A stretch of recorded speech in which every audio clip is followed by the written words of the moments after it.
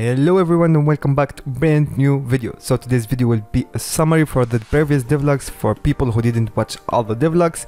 They can find all the progress done in this video because it's basically a recap.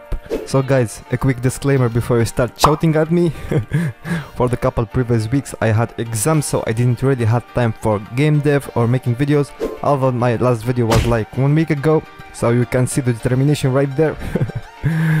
and without making this any longer, let's jump ahead into the video.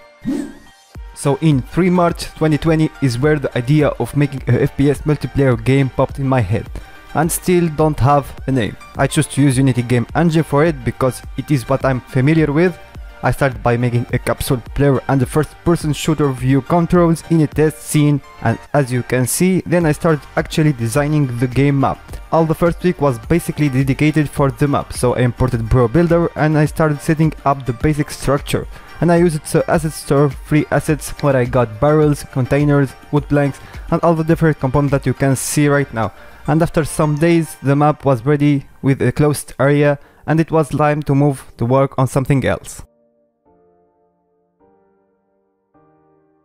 The next week I worked mostly on the player so I started by getting a 3D soldier character and I implemented it in my game and gave him a rifle that I got from the asset store then I set up some idle and running animation so now we can use the model on the first view then I give the player the ability to aim so the game feel more responsive and I coded the player to die when he received damage.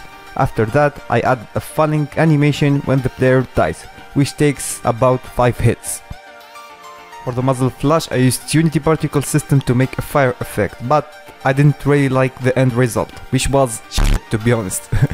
but the good news, we managed to fix it later and you will see how it's going to look and that was all what the second week had of progress.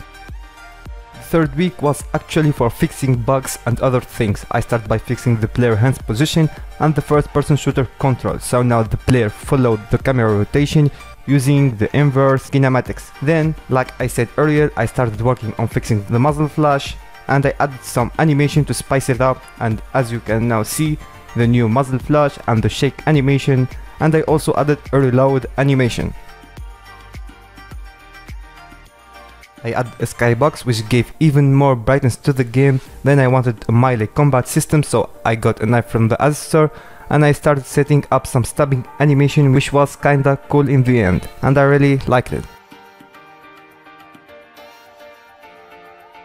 So in the fourth week, I wanted to spice things up and take it to the next level. So I started making the multiplayer, so I made a Photon server that can have a maximum of 20 players at the same time. And now as you can see, players can connect and I can see the other players moving around in all sides and if I switch to my player, I can also move without any problems. The next thing I wanted to add is a damage screen and text so I got some images from Google and I made the damage panel. So now as I shoot the player, the screen becomes bloody and after 5 hits, you are dead message shows up. The next thing I did was to make 50 different spawn points around the map so the player can spawn randomly in different places, which ended up working fine. As you can see, the player spawns at a random position every time he connect or get killed.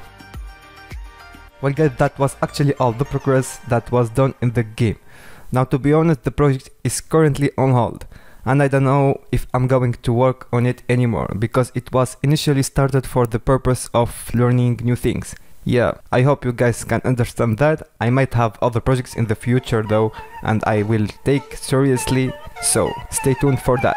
I think that was it for today's video. Stay safe and peace out.